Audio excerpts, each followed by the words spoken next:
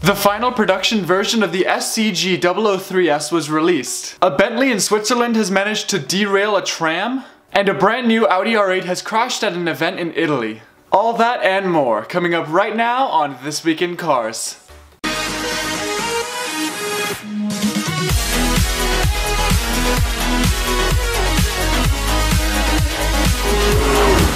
Hello, hello, hello, car lovers worldwide, and welcome to This Week in Cars. Even though it was unveiled at the 2015 Geneva Motor Show, Scuderia Cameron and Glickenhaus have revealed the final design for their latest project, the SCG 003S. This is simply one of the most incredible looking road-going cars that I've ever seen in my entire life, and I've actually seen one in person down in Monterey Car Week 2016 at the Quail setup, and to be honest with you, I had no idea what it was when I first saw it.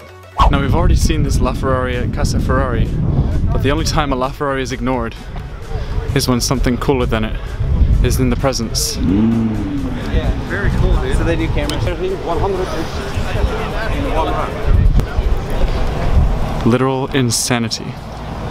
But there are no doubts that I was in love. And to think that this car can pull an insane 2 Gs of force when cornering, that makes it one of the fastest and hardest cornering cars in the world. SCG founder James Glickenhaus announced that the final production spec of this car will be displayed at the 2017 Geneva Motor Show, and it will have a 217 mph top speed, 3 seconds 0 to 60 time, and 750 horsepower from a 4.4 liter V8. Glickenhaus estimates a starting price of about $1.3 million if he can allocate all 10 buyers, and deliveries will hopefully begin within a year or two.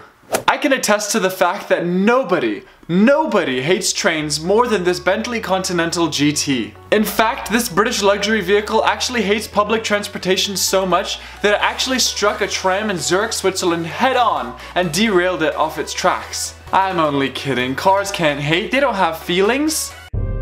Are you sure about that? But unfortunately, this Bentley actually did strike a tram head-on, causing it to come completely off of its tracks and derail it. And it turned out to be quite an extreme accident. Thank goodness nobody was hurt in this incident.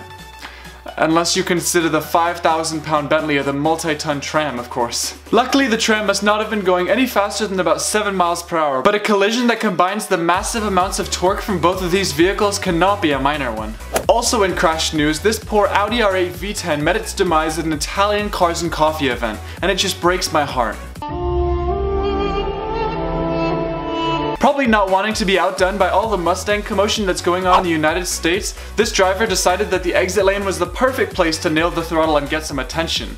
And of course it ended up like this, the same way most Mustang showboat incidents go. I mean, in the end, as horrible as these images and videos make the incident look, I honestly don't think the damage is really that bad, and I expect that the repairs will be scheduled so that this car can get back on the road again sometime soon. Thank you all so much for watching another episode of This Week in Cars, and make sure to tune in again next Sunday for another update on news in the car world. If you enjoyed this video, make sure to give it a big thumbs up and subscribe for more.